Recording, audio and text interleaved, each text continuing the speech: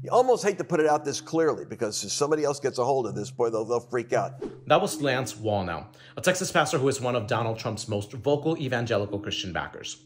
He was talking about the electoral strategy of a secret religious nonprofit made up of wealthy Republicans called Ziklag. Lawyers and tax experts say the group is testing or violating federal law. The tax experts that we talked to said you can be a charity, and when people give you money, they get to take a tax deduction, or you can be a more politically active group.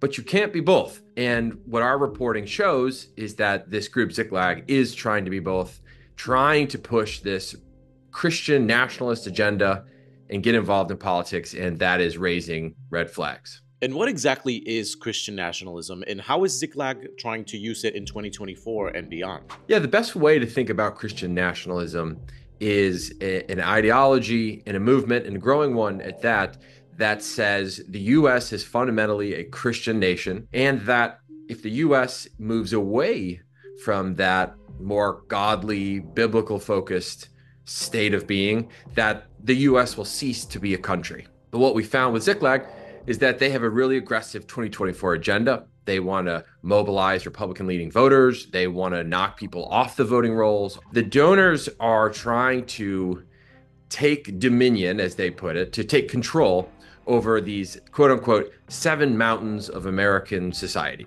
So these are the key elements that make up our country education, arts and entertainment, government, family, religion, the building blocks of American life. Ziklag has a plan for each of them to try to make each of those industries, those parts of our life, into a far more Christian dominated sphere of influence. We've been hearing a lot about the Heritage Foundation's Project 2025, which is a 900 page outline of priorities for the next conservative president. How do Christian nationalism and Ziklag connect to this manifesto? So, on the surface, Ziklag and Project 2025 appear to be different things. But if you scrape a little deeper, as we do in our story, you see all kinds of connections, all kinds of parallels. They are all part of this longer term plan to try to move the country in this, again, conservative Christian direction. And they believe that another Trump administration is the best way to do that. To read more about our investigation, check out the link in bio.